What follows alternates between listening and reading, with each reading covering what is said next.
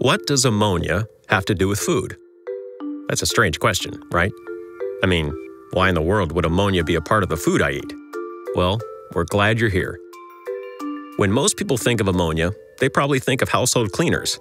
I'll bet you can smell it in your mind, can't you? Ammonia exists in many products, and household cleaners are merely one of them. But there is so much more to ammonia than you may know beyond products. The fact is, your body produces about 4,200 milligrams of ammonia every single day. It's a natural component of all plants and animals. It's not too complicated. It's essential for life. Ammonia is, is made up of nitrogen and, and hydrogen. We have ammonia and nitrogen all over the place, and we find it in food, we have it in the soil, we have it in our bodies. It's just part of our natural environment. About 1900, it was realized that the factor limiting human population growth was nitrogen availability. And this is the factor limiting plant growth, which in turn limits human um, population. And so then there became a, a race to acquire nitrogen industrially. And that's where Fritz-Haber comes in and comes up with a, a process that allowed the incorporation of atmospheric nitrogen into ammonia. Ammonia is used all over the world to enrich soil to grow crops. That's a pretty big deal considering all the people we have to feed. Over the last 50 to 60 years, we had to double the amount of food we produce.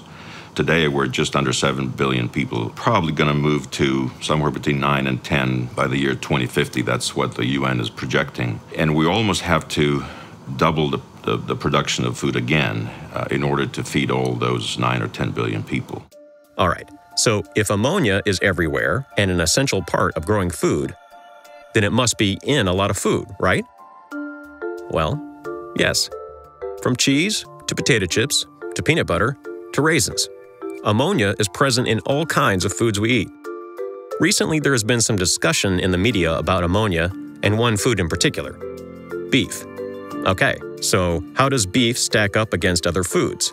For perspective, let's take a look at the cheeseburger. There's more ammonia in the bun, the condiments, and the cheese than in the beef.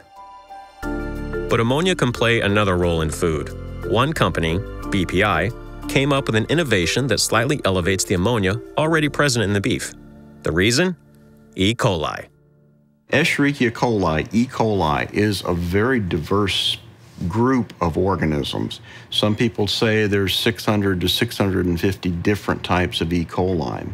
Originally, we thought of E. coli 0157 as being simply a problem in ground beef, and we've learned that it turns up in a lot of places. We've had E. coli outbreaks with spinach, with lettuce, strawberries. The thing about E. coli 0157H7 is, is that you know it causes devastating uh, illness at times, um, death, and leaves victims who do survive scarred for life. It's really not a bug that should be taken lightly. BPI chose to use ammonium hydroxide and, ammonia, which is a very strong base. Low pH is acid, high pH is the bases. Because E. coli grew up in an acid environment, it's kind of a foreign world for the bacteria, and it's very effective and lethal against gram-negative bacteria, of which E. coli is one. We know with regards to ammonium hydroxide that the the level that we increase the natural ammonium hydroxide that's existing in the meat is extremely small. We also know unequivocally that it's safe for human consumption. We do know that it is deadly to harmful bacteria, and in this instance, that is enemy number one. If you can, if you can do something to that product that that only enhances something there that, that's there already naturally, uh, then that's a good thing. There's a reason that we have modern industrialized agriculture, and that's because there are food needs here and across the world.